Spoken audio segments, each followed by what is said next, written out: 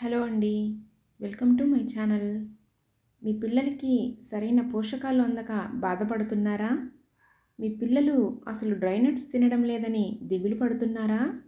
పిల్లలకైనా పెద్దవాళ్ళకైనా నేను చెప్పినట్లు డ్రైనట్స్ని ఇలా చేసి పెట్టండి. శుభ్రంగా గిన్నెలో ఏం మిగిల్చకుండా తినేస్తారు? ఇప్పుడు డ్రైనట్స్తో ఏం చేయాలో ఇప్పుడు చూద్దాము. బాదం పప్పులండి. ఒక ఇరవై వరకు తీసుకున్నాను బాదం పప్పులు. ఇవి కొన్ని జీడిపప్పులు అండి ఇది పిస్తా అండి. కొంచెం మన క్వాంటిటీని బట్టి వాళ్ళు ఎంత తింటారో దాన్ని బట్టి మనం తీసుకోవాలండి. ఇది రెండు పచ్చిమిరప రెండు ఎండుమిరకాయలండి ఇవి. ఎండుమిరకాయలు రెండే తీసుకున్నాను. కారం ఎక్కువ తినడవాడు కా అలాగని కారం మరీ తక్కువ పెట్టనండి. చిన్నపిల్లలకి కొంచెమన్నా కారం తగలాలి. లేకపోతే బ్లడ్ చచ్చిపోతుందంట ఉండదంట అంటారు వాళ్ళు. మరి పెద్దవాళ్ళు అంటారు అలా మరి. నేను వాళ్ళు చెప్పింది నేను చెప్తున్నాను మీకు. ఇదండి ఆ, చిన్నులపాయలండి. ఇలా ఒక మూడు తీసుకున్నాను. కరివేపాకు కొంచెం ఎక్కువే తీసుకున్నానండి. ఒక నాలుగు రెమ్మలు తీసుకున్నాను కరివేపాకు. ఇప్పుడు మనం స్టవ్ వెలిగించుకొని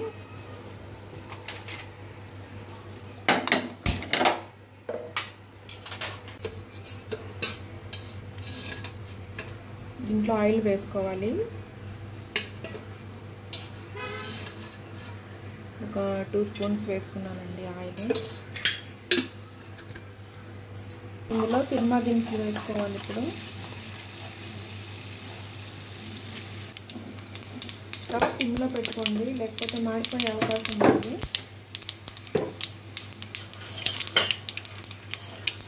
ఫస్ట్ బాదం పప్పులు వేసేయాలి ఇందులో.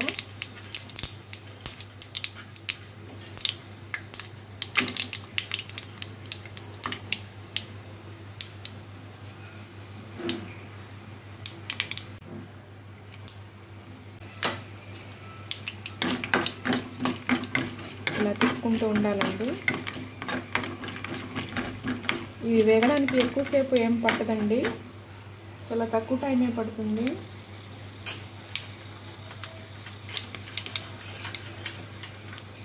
తర్వాత జీడిపప్పు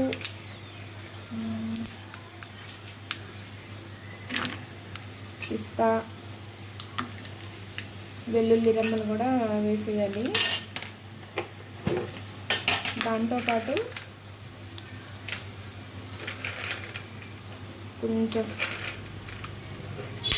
వేరుశెనగ గుళ్ళు వేసుకుంటున్నానండి. ఒక అరకప్పు వరకు వేరుశెనగ గుళ్ళు. ఇవంతా నూనెలో మగ్గనివ్వాలండి వేగనివ్వాలి.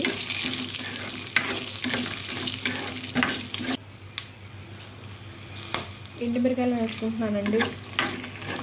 కారాన్ని బట్టి మీరు వేసుకోవచ్చు. మనకి ఎంత కారం కావాలనేది దాన్ని బట్టి వేసుకోవచ్చండి. ఇది మా బాబు కోసమే ప్రత్యేకంగా చేస్తున్నాను కాబట్టి ఇలా కారం తక్కువ వేసుకుంటున్నాను. ఈ చట్నీ పెద్దవాళ్ళన్నా చేసుకొని తినొచ్చండి బాగుంటుంది. పెద్దవాళ్ళు కాబట్టి కొంచెం ఎండుమిరకాయలు ఎక్కువే వేసుకోండి. చిన్నపిల్లలకైతే వాళ్ళు ఎంత తింటారో కారం దాన్ని బట్టి వేసుకోండి. లాస్ట్లో ఎండుమిరకాయలు వేసానండి ఎందుకంటే ఎండుమిరకాయలు ఊరికనే నూనెలో వేసిపోతాయి కదా. ఇంకా క- కరివేపాకు వేసాను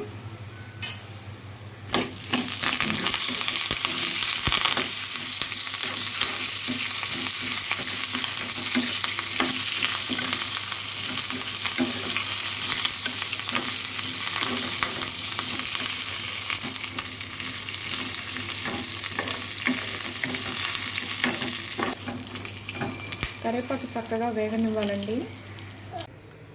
ఇలా వేయించుకున్న పప్పుల మిశ్రమం ఇప్పుడు మిక్సీ పట్టుకుందాము. ఇలా మిక్సీ జార్లో వేసుకోవాలి అన్నీ. కొంచెం తగినంత ఉప్పు అండి సరిపడా ఉప్పు వేసుకోండి.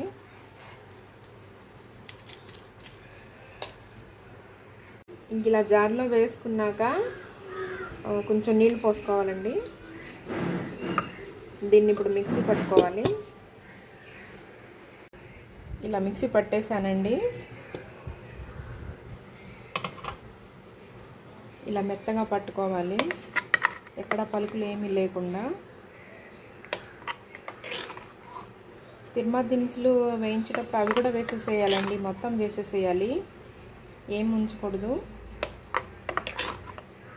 ఇలా మెత్తగా మిక్సీ పట్టుకొని తర్వాత ఒక గిన్నెలోకి తీసుకోవాలి. ఈ గిన్నెలోకి తీసుకుంటానండి నేను ఇప్పుడు. ఈ గిన్నెలో తీసుకున్నానండి ఇంకా. ఇలా జారుగా చేసుకోవాలి. మరి గట్టిగా కాకుండా బాగా పలుచగా కాకుండా ఇలా జారుగా చేసుకోవాలండి. ఇది పెద్దవాళ్ళు కూడా తినొచ్చండి. పెద్దవాళ్ళు కూడా కొంతమంది బాదం పప్పులు అవి ఇష్టపడిన వాళ్ళు కూడా ఉంటారు. ఇలా చట్నీ చేసి పెట్టేస్తే వాళ్ళు తినేస్తారండి. చాలా టేస్ట్గా చాలా బాగుంటుంది ఇలా. టిఫిన్లోకి తినొచ్చండి ఇలా. టిఫిన్లోకి అయితే చాలా బాగుంటుందండి.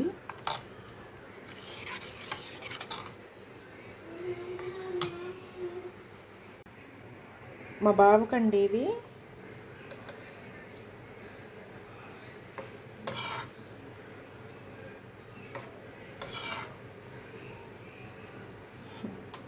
ఇప్పుడు తీసుకెళ్ళి వాడికి పెడతాను. ఇదండి ఇవాళ వీడియో. ఈ వీడియో కనుక మీకు నచ్చినట్లయితే లైక్ చేయండి షేర్ చేయండి. ఇలాంటి మరెన్నో రెసిపీస్ కోసం నా ఛానల్ను తప్పకుండా సబ్స్క్రైబ్ చేసుకోండి. మరొక రెసిపీతో మళ్ళీ కలుసుకుందాము. అంతవరకు సెలవు. నమస్కారం.